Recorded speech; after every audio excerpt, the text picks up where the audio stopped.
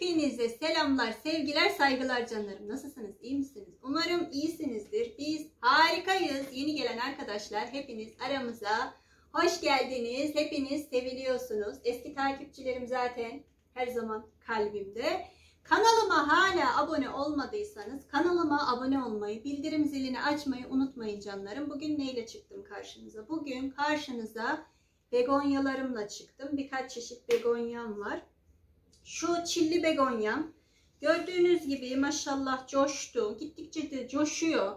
Bugün size bakım bilgisini falan anlatacağım. Şöyle köklendirmesini anlatacağım. Ben bir dal kırıp bakın köklendirmiştim. Kökünü de yakından göstereceğim. Bakın gördüğünüz gibi kökleri gayet güzel köklendi. Bu kökleri görünce çok mutlu oluyorum ben. Bunu da görünce çünkü birkaç defa denedim anlattığım gibi suda ve diğer toprakta olmamıştı ama bunda çok güzel gayet güzel köklendi. Herhangi bir köklendirici falan kullanmadım. Sadece menekşelerimi kullandığım toprağa diktim ve gördüğünüz gibi köklendi çok şükür.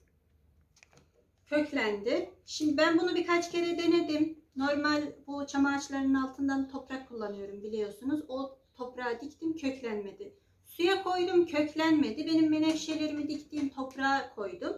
Onda nihayet en sonunda köklendi. Gayet de güzel kök vermiş. Onu göstereceğim yakında. Şurada benim kırmızı katlı, katlı değil de gül begonyam var. Şöyle bodur. Daha çiçek açmadı ama gayet güzel geliştiler. Şöyle yine şu çilli begonyanın kırmızısı. Şurada yine yağlı begonyam. 3 çeşit, 3 çeşit begonyam var ve bunlar kırmızı açıyor. Bunların Üçü de kırmızı açıyor. Bu da değişik bir tür olarak pembemsi, beyazımsı gayet güzel açtı. Şimdi bu begonyalar ne, neyi seviyor? Begonya güneşi çok seviyor. Çilli begonya güneşi ve suyu çok seviyor. Ben bunu güneşe koydum yazında, kışında. Kışın zaten gelişti, boyattı, kocaman oldu. Minnacıktı. Yani şundan daha küçüktü aldığımda ama kışın güneşe koydum pencere önüne. Havadar, güneşli ortamı çok seviyor. Her akşam suluyorum, suyu da seviyor. Ve kolay, güzel bir bitki. Güneşi gördükçe kızarıyor, güzelleşiyor. Özellikle bakımını söylüyorum. Şunlar da yine ithal. Bunlar maalesef gübresiz çok gelişmiyor. Gübre tavsiye ederim bunlara. Bunlar ithal olduğu için biraz gelişimi yavaş olan bir çiçek. Daha henüz hala çiçek açmadı. Şimdi zaten çok da uğraşmaya vaktim olmadığı için çiçek açması için de herhangi bir gayretim yok. Sadece büyüdüler. Arada sırada gübre veriyorum ve gayet gelişimleri gayet yerinde. Ötekileri de daha yeni diktim ama gördüğünüz gibi yaprak vermiş. Çok güzel bir şekilde. Onların da gelişimi güzel. Şimdi bunu nasıl köklendirdim? Bunu da anlatayım size. Ben bundan dal kırdım daha öncesinde diktim çam ağaçlarından çam ağaçlarının altından aldığım toprağa diktim.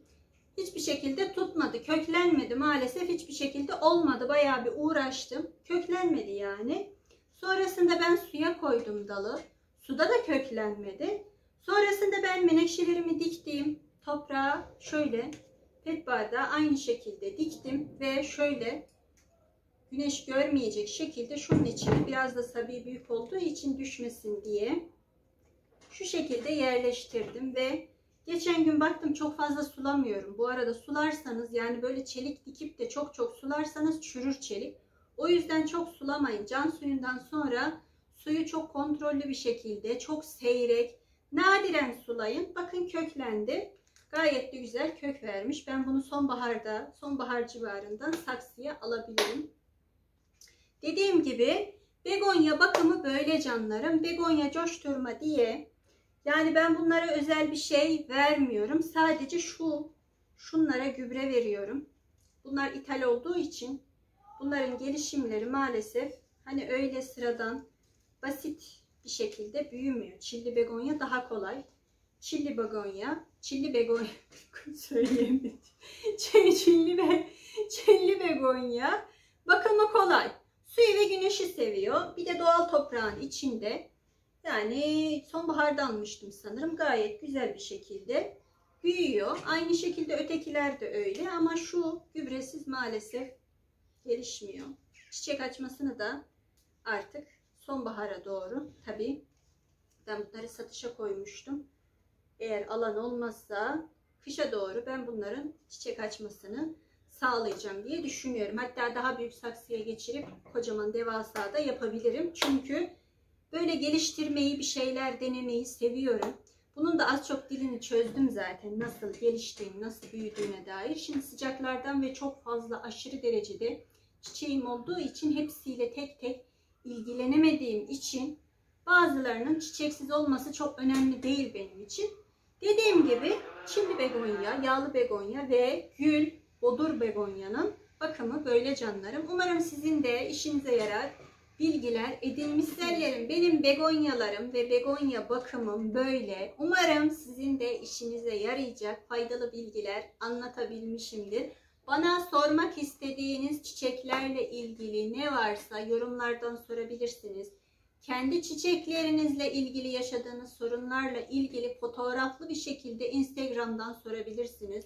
Ben Instagram'daki bütün soruları hepsini tek okuyup cevaplamaya gayret gösteriyorum. Yardımcı olmaya çalışıyorum zamanım el verdikçe.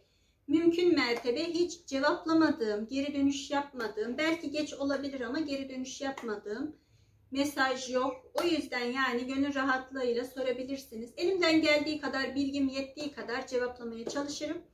Bugünlük bu kadar. Kanalıma abone olmayı, bildirim zilini açmayı unutmayın. Kanalıma abone olursanız çok şey kazanacağınızdan emin olabilirsiniz. Hepinizi çok seviyorum. Kendinize iyi bakın. Ailenize ve size sağlık diliyorum. Hoşçakalın.